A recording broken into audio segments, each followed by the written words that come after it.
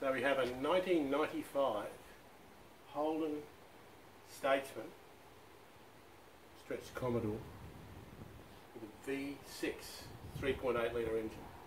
This thing has done nearly 340,000 kilometres. The only way it's kept going is regular oil changes, and that's what we're doing today. So underneath, we've undone it, we drained the oil, but it was hot. And because it was hot, we've dropped the oil plug in the oil. We have to fish it out. How are we going to do that?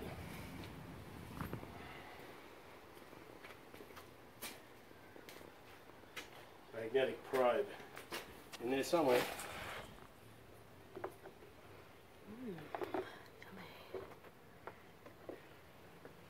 A fishing expedition. What's that? Here. Gotcha. And important, a copper washer is still there.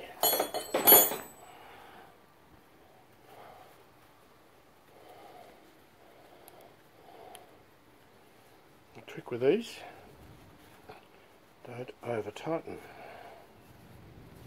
No, no. Size, around about that size. Super cheap container that high. Well, how's it going to get under there? Normally it wouldn't, you would not be able to get that under the car. So we run it up on a couple of blocks of wood. Block of wood too high, have a small bit first, then the next bit. Stable enough. Better than a jack. Cheaper than a hoist.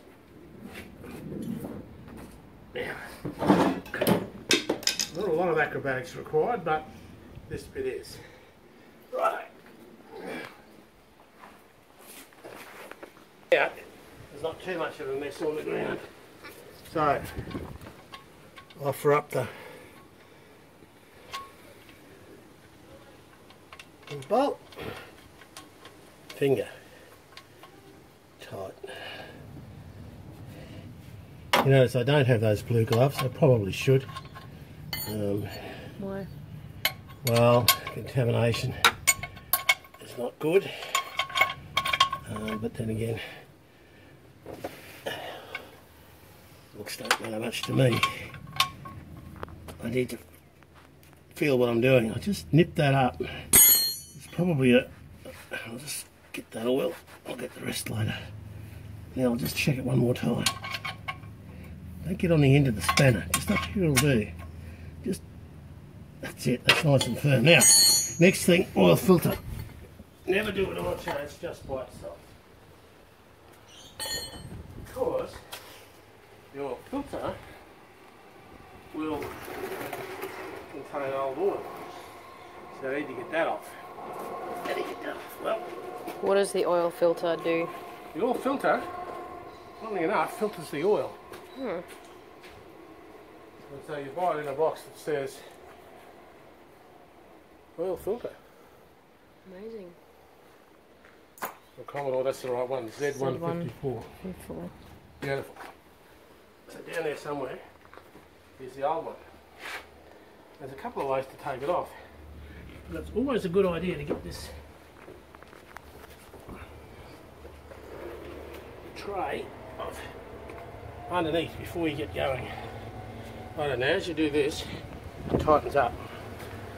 Anti-clockwise to undo. Almost everything. Might just come in from below. Yeah, that's right. See it? Yep. Okay, it's anti-clockwise. So it wasn't on too tight, but it was tight enough. Too tight and you strip threads.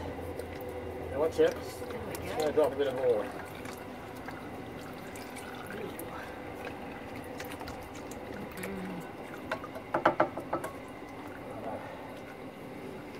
Call that. It came off. Where that came off, we'll just give it a quick clean with a clean rag. Yep. That's Well, that, at least a not so dirty one. And around we go. So down there, there's a, a seating flange. Now, at this point, you don't want that to be really hot because you're going to burn yourself. Yes, you're going the oil when it's hot, then you go and have lunch.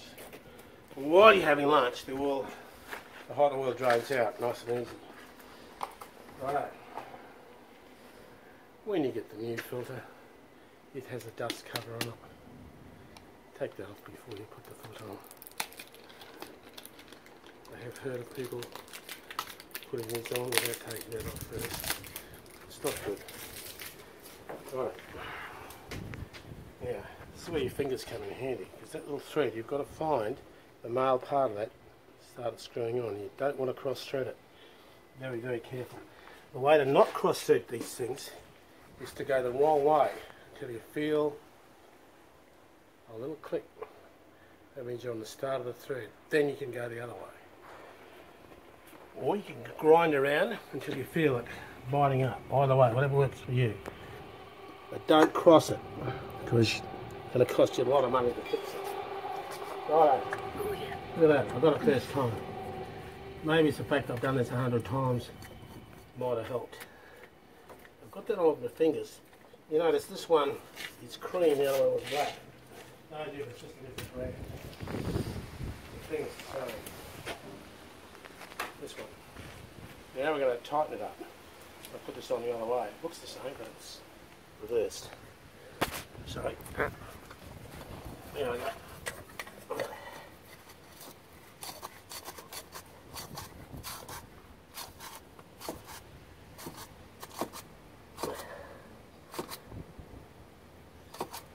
That's it. Enough. That's enough. Right. Just, yeah, Well, just this out. no, you don't want that. We're going to take it out. Oh, say that again. Now, before you do much else, need to um, put the oil in.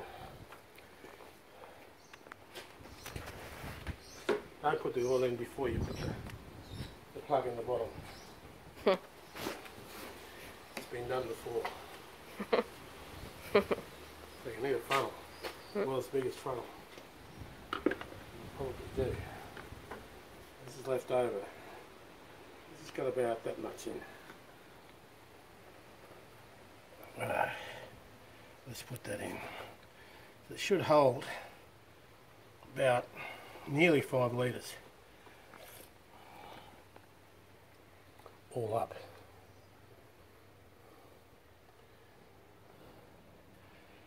So I reckon I'll put two and a half litres in. So the oil I'm using is the Shell Helix HX3. It's an older oil. Then again, it's an older car. Very wide heat range from 20 up to 50. 20, what? Well, that's the, the viscosity range. 20 in the winter, 50 in the summer. Most modern cars have something like a uh, 5 to 30 range. Now I reckon that's about right.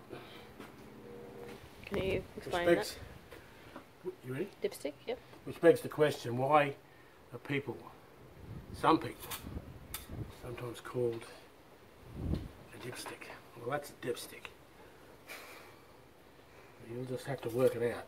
But looks Why you like it's actually refer to someone as a dipstick. Very uncomplimentary uh, way of referring to anyone, but and there it is, because that's what it's good for. Just telling you how deep the oil is, and it's deep enough. cool. Okay, so I can get rid of that.